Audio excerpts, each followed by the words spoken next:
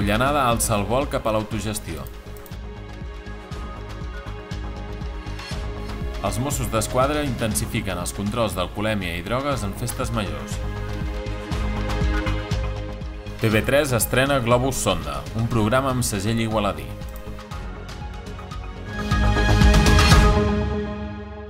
La Cullanada ha presentat la programació del seu espai durant la festa major i ho ha fet reivindicant el pas de l'associació juvenil cap a l'autogestió i anunciant que renuncien als 10.000 euros de subvenció que fins ara rebien de l'Ajuntament d'Igualada.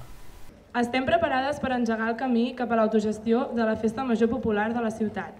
Un projecte com la Festa Major de la Cullanada i el fet de rebre una aportació econòmica de l'Ajuntament ens ha conduït, sobretot, en els darrers anys i en molts casos a no poder desenvolupar el nostre projecte, les nostres apostes de forma totalment autònoma i lliure.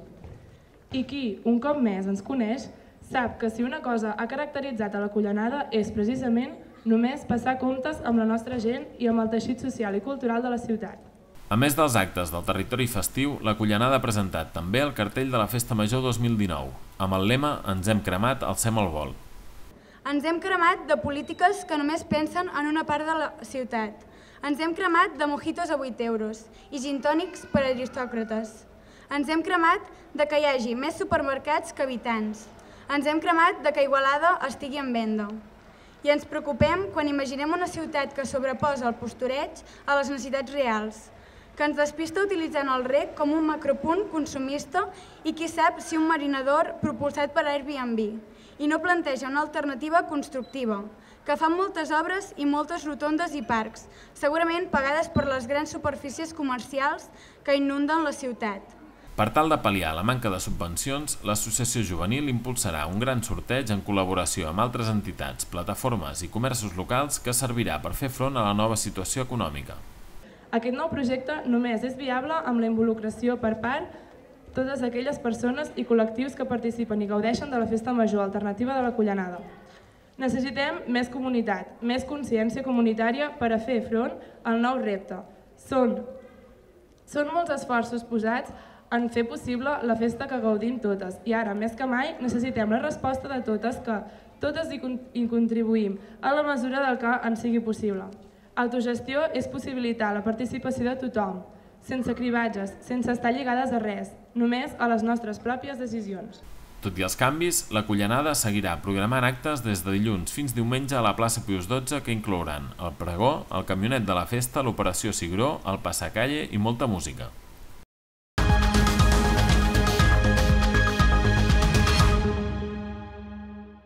TV3 ha estrenat aquesta setmana el primer capítol de Globus Sonda, un programa creat, pensat i produït a Igualada per la productora Voxcom. Globus Sonda és un espai d'entrevistes d'alçada a personatges mediàtics, realitzades dins un dels globus aerostàtics de Contiki. Igualada al món del globus sabem que, que és una cosa que es viu molt, Uh, jo havia volat molt, ja no només amb l'Àngel i el Miquel, sinó havia viscut molt des d'inicis de l'European i és un món que jo que conec, minament conec, no? Bé, llavors a partir d'aquí doncs, eh, va sortir la idea de doncs, per què no fer una, un programa en què es basa en una entrevista però en un lloc diferent que no s'ha fet mai, que són a, dins un globo. Eh, clar, no només entrevista en globo, el que hem buscat és que donar-li un complement. Per què? Perquè en el fons un globo és molt lent, al ser lent necessites alguns elements extras que facin donar més dinamisme al programa. Necessites un ritme que sigui més, uh, més accelerat i busques aquests, aquests elements que facin que, sigui més, que, que acceleri aquest, aquest, uh, aquest muntatge. El conductor del programa, que tindrà un total de 10 episodis repartits per la geografia catalana, és el meteoròleg de la cadena pública Francesc Mauri, amb la periodista Candela Figueres com a copresentadora.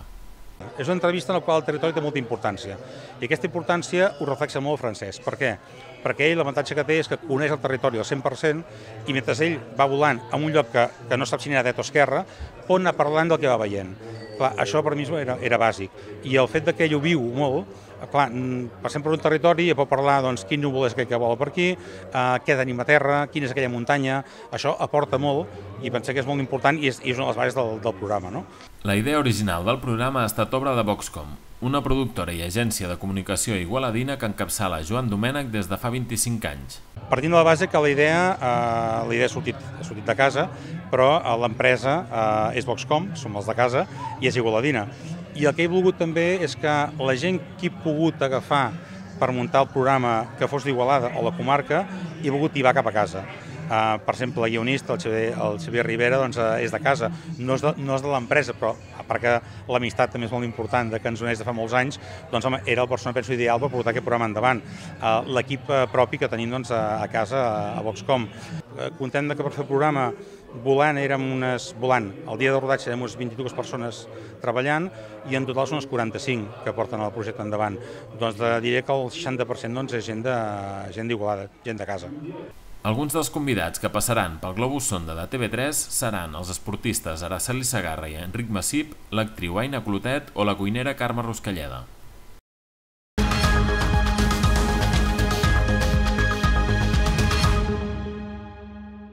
Els Mossos d'Esquadra intensifiquen durant l'estiu els controls d'alcoholèmia i drogues a conductors en motiu de les festes majors dels municipis anoiencs.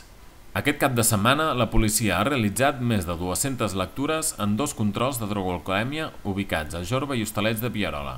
En total hi ha hagut 24 resultats positius i els agents han hagut de realitzar 18 denúncies per alcoholèmies administratives, 3 per alcoholèmia penal i 3 més per consum de drogues.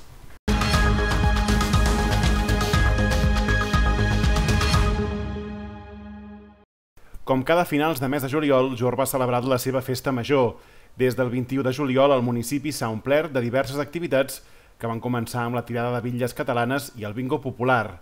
El gruix del programa va iniciar-se dijous amb activitats esportives, cinema a la fresca, bany nocturn a la piscina, la pujada al castell, sopar popular, discoteca mòbil i també el ball de gala amb l'orquestra Axis. El diumenge de festa major, a més de l'ofici solemne, hi ha hagut fira d'artesans, jocs infantils, inflables, passejada amb poni i la 14a edició del concurs de truites de la festa major, que ja s'ha convertit en tota una tradició de la festa major jorbenca. La festa major de Jorba ha acabat dilluns amb el partit de futbol de casats contra solters.